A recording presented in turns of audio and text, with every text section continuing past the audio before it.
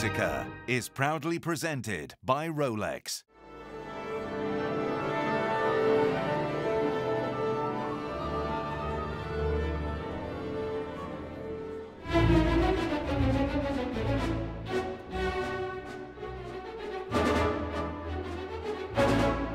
Für mich war es natürlich irgendwie so eine Erfüllung eines Traumes, den ich als, als Kind und als Jugendlicher mitbekommen habe.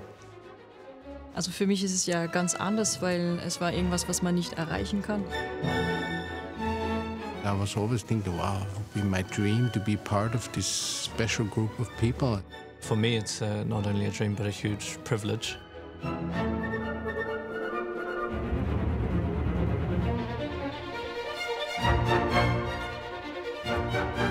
فیلارمونیک وین یک ارکستر افسانه است که با صدای منحصر به فردش شناخته می شود اما چه چیزی آن را خاص کرده است؟ رمز و راز صدایی که در وین تنین می اندازد چیست؟ ارکستر وین با والزهایش که در جریان کنسرت سال نو اجرا می شود شهرت دارد.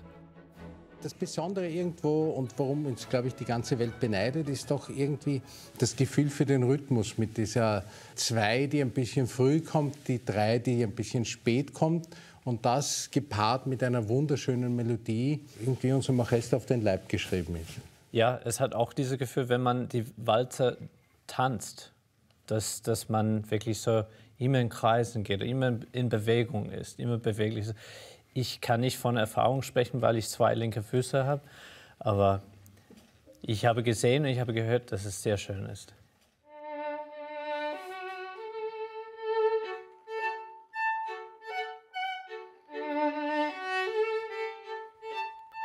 آوازه ارکستر وین فراتر از والس‌های آن رفته است. بخشی از آن مدیون شوق و پیشوری است. بنجامین موریسون اغلب ساز خود را نزد ویولون ساز می‌برد. برای این نوازنده نیوزیلندی ریزکاری های ساز امری حیاتی در صدای آن است.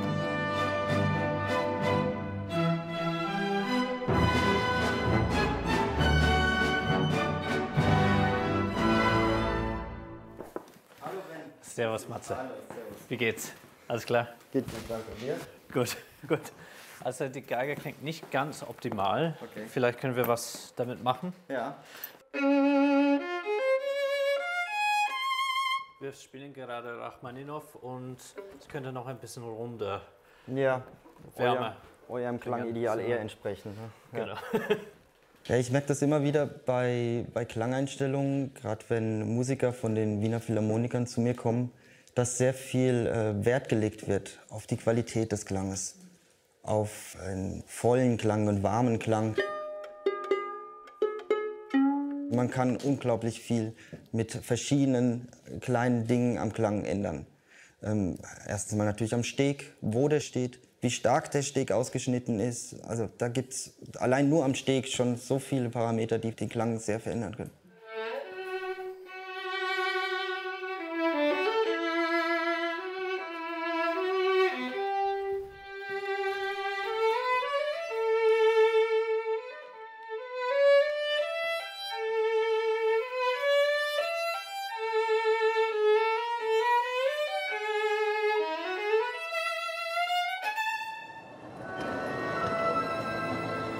تأثیر بر روی صدا از طریق نحوه نواختن ساز برای دانیل اوتنسامر نوازنده اتریشی کلارینت و سوفی دغوو نوازنده فرانسوی فاگوت کلیدی است. Es ist ganz schwer, das auf einen Punkt festzumachen eigentlich. Es, ist, es hat sehr viel mit, natürlich mit der Tradition zu tun. Und ich bin aber auch nicht sicher, ob es nur mit Klang zu tun hat, sondern es hat auch sehr viel mit, also für mich, sehr viel mit Art zu spielen, Art zu spielen die, auch die Artikulation oder auch die ganze Einstellung zur Musik, finde ich. Also die hier in Wien natürlich, ich meine, du kannst es noch besser sagen, du bist ja von außen gekommen eigentlich. Ja, schon. Also es ist, äh, es ist auch schon was Spezielles. Zum Beispiel wird man nie hell spielen. Also Richtig. ihr spielt schon sehr rund, sehr weich. Eher dieser dunkle Klang ist dann Genau, doch ja. etwas, was, was das Markenzeichen Ja, dann vielleicht doch ist, ja.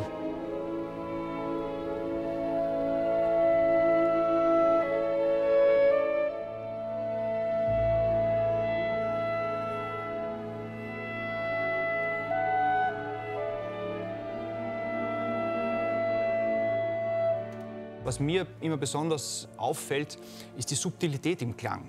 Dass man äh, versucht, bei gewissen Stellen nicht zu konkret zu spielen. Also dass das Töne auch ähm, entstehen und nicht immer einen klaren Anfang haben. Das ist, das ist zum Beispiel bei einem Tosca-Solo.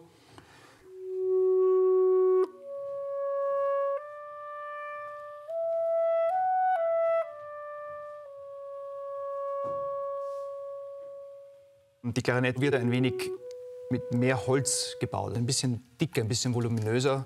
Und auch da äh, entsteht ein bisschen ein, ein dünklerer Klang. Und da kommen wir zum Thema Wiener Klang, der dazu führt, dass das im Orchester sich besonders gut mischt mit den anderen Instrumenten. برخی از سازهای ارکستر با سازهایی که در دیگر مناطق جهان نواخته می شود متفاوت هستند. صدای آنها منحصر به فرد است و موضوع تحقیقات دانشگاهی شده. گرگور ویلدهوم در دانشگاه موسیقی و هنرهای نمایشی وین به همراه گروهش از رمز و راز این سازهای منحصر به فرد پرده ور می دارد.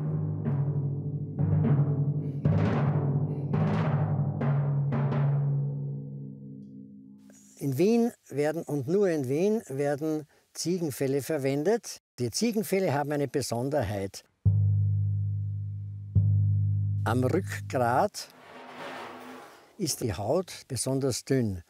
Und dadurch bilden sich bestimmte Schwingungsmoden viel stärker aus. Sie sehen hier in der dreidimensionalen Darstellung jetzt sehr schön, wie nach dem Schlag hier die Rücken gleichmäßig ausklingen und äh, bei der internationalen Pauken mit dem Plastikfell es eben hier sehr unregelmäßige Abstände der Schwingungen gibt.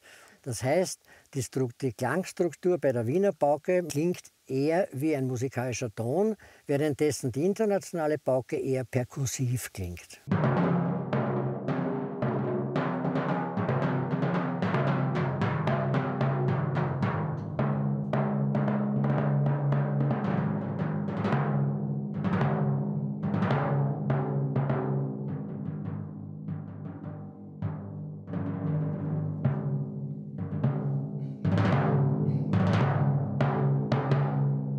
Es ist, es ist ein Klang, der mir einerseits doch rhythmische Prägnanz erlaubt, aber immer homogen in den Orchesterklang einbettet und einfügt.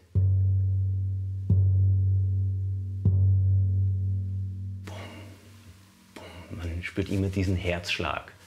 Wenn die Stimmen im Orchester warm miteinander verschmelzen, das ist für mich äh, Wiener Klang. Und es entstehen dann auch im Konzert Momente, in denen ich das Gefühl habe, dass sich äh, dieser Klang wie ein warmer Mantel um die Brust legt und Herz und Seele berührt.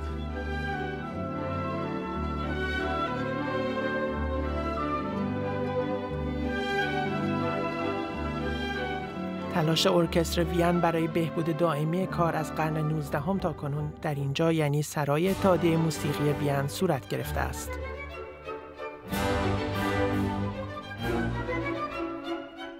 Der Goldene Musikvereinssaal, das ist unser Zuhause. Der Klang, das ist einfach unser Klang. Dieser Klang, das darf man nicht vergessen. Wenn man 1875 in unserem Orchester engagiert war, hat man in der Oper gespielt mit dem Verdi und dann ist man im Musikverein gegangen, hat dort mit Richard Wagner gespielt, die Musik. Und das beeinflusst alles unseren Klang. Und dieser Klang, der immer bleibt, den geben wir von Generation zu Generation weiter, ohne darüber zu sprechen.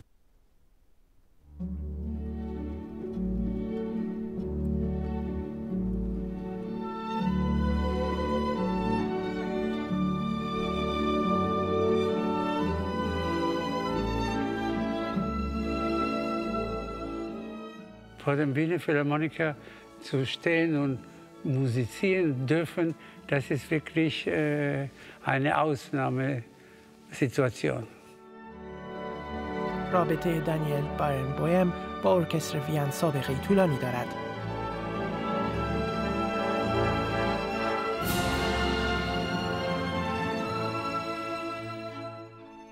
Das erste Mal, dass ich mit dem Orchester gespielt habe, war in Salzburg irgendwann in den 60er Jahren. Ich saß da am Klavier und rund um mich haben 60, 70 Musiker da als eine Gemeinde gespielt.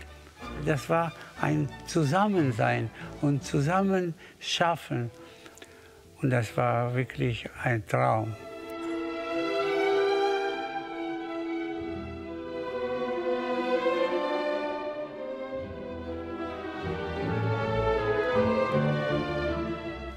Ganz Wien und Österreich sind stolz auf die Wiener Philharmoniker. Und das, glaube ich, ist sehr wichtig.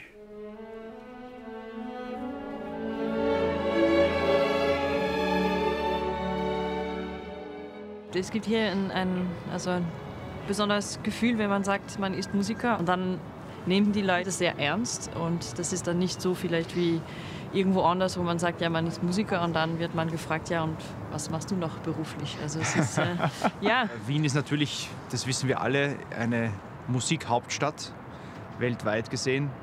Und diese, diese Präsenz und diese Wichtigkeit, die, ich würde sagen, nicht nur Musik, sondern insgesamt Kultur in dieser Stadt einnimmt, das ist schon ähm, sehr, sehr besonders.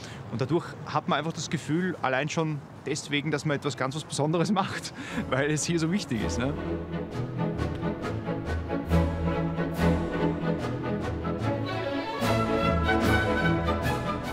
Das Orchester ist einmalig. Im Moment vom Spiel ist eine Einheit, die färbt das Ganze. Das ist das wichtigste Wort. Zusammen, geistig zusammen.